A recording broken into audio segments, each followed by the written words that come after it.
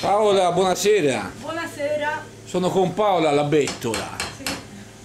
Questa è proprio una trattoria vecchio stile Una pistoiese. trattoria, sì, vecchia maniera dove si fa le ricette di una volta, le vecchie ricette contadine di una volta di Pistoia.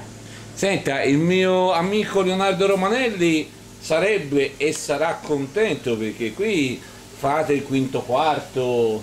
Sì, è il regno del quinto quarto, sì. Trippa, lampredotto, centopelli, anche la trippa del maiale si fa.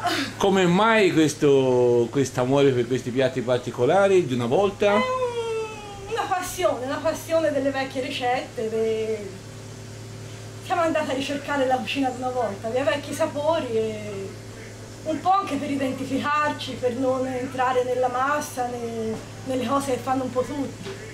Senta, e qui cosa vi sto facendo bruciare? Questo è il Non berrettino brucia. di maiale con l'uvette pinoli, praticamente è la trippa del maiale. E poi, C'è la zuppa del carcerato, questa e qua, qui siamo proprio un piatto vecchio di di Pistoia. Pistoia, sì. Un piatto, una ricetta del 1500 inventata da carcerati di Santa Caterina Ambrana. E qui sta andando invece un soffritto. Sì, che serve per la pappa al pomodoro.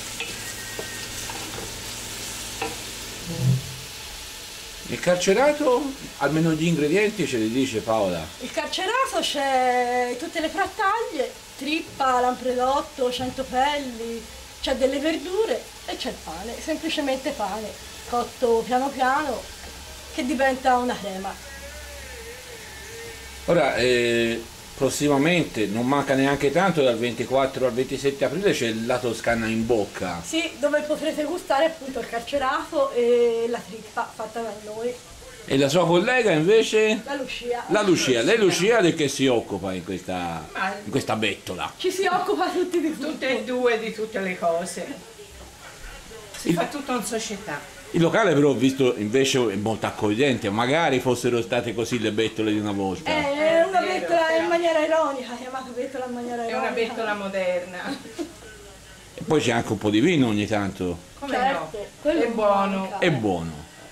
Quindi se è buono è toscano, ed è zona Pistoia. Sì, sì, tutto, tutto delle nostre parti. Così si casca sul sicuro. Va bene, io vi lascio Tutto di casa nostra. ai vostri piatti, se non mi brontolate che ve li ho fatti bruciare. E ci vediamo alla Toscana in bocca. Grazie, arrivederci. Grazie.